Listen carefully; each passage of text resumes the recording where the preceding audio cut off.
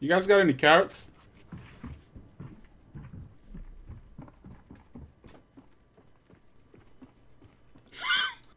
oh god. I think I done messed up, boys. I think I done messed up. Goodbye.